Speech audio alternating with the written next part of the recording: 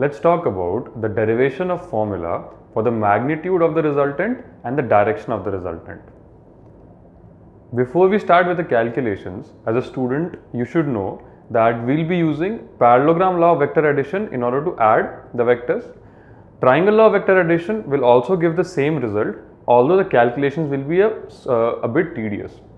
So, proceeding forward, first of all, I'll choose the two vectors uh, that I'll add using parallelogram law and over here I choose these two vectors a and b.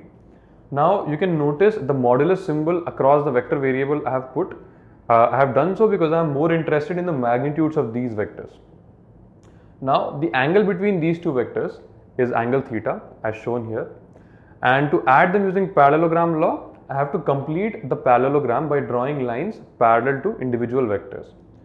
So over here I have completed the parallelogram. Now to find the resultant vector all I have to do is join the body diagonal that passes through the point of coincidence of vectors. So my S vector becomes my resultant vector. Now over here you can see this angle alpha that I have drawn. This angle alpha will give me an indication about the direction of the resultant vector. How exactly will it do that? I know the direction of A vector already and then I will know the value of angle alpha after calculations. Once I do that, I can exactly tell the direction of S vector as being angle alpha away from the known vector A. So carrying forward, in order to find the magnitude of this S vector, I'll be doing a small construction. Uh, please pay attention. I'll be extending this line A vector forward and I'll be dropping a perpendicular from this point down to that line. So over here, I have extended this line forward and I've dropped a perpendicular from this point down to that line. So over here we have got this angle as 90 degrees clearly, correct? Now in this parallelogram, I can say that opposite sides must be equal. So the length of this dotted line must be same as the length of this original vector. So over here I can say because they are opposite sides of parallelogram, the length of this is nothing but modulus of b vector. Now the opposite sides of parallelogram are also parallel to each other.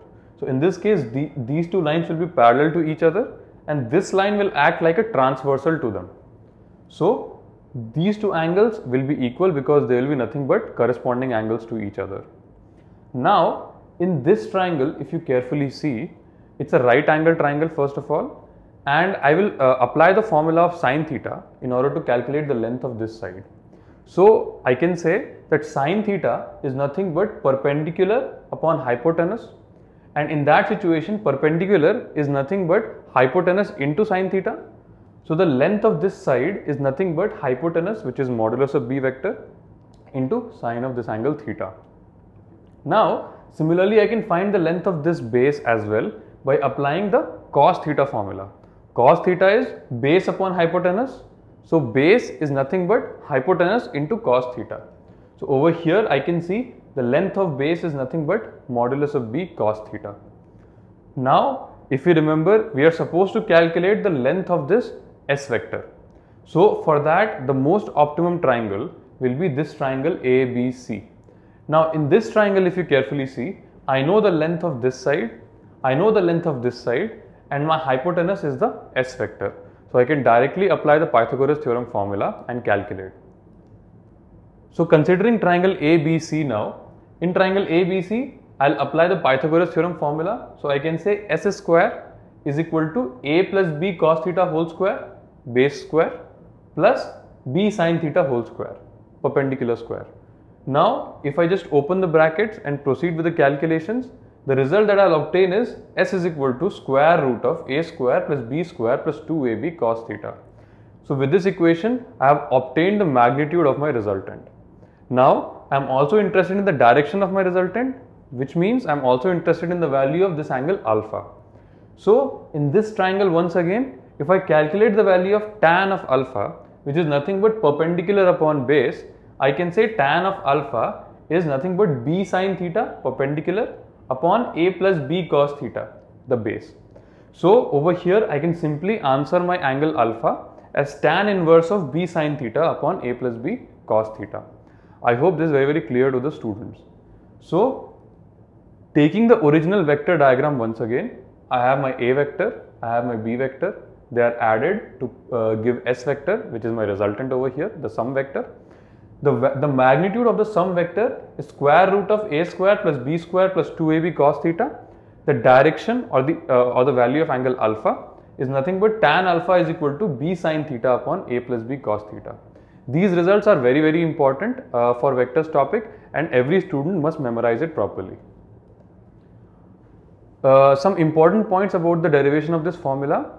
The magnitude of resultant depends on two factors.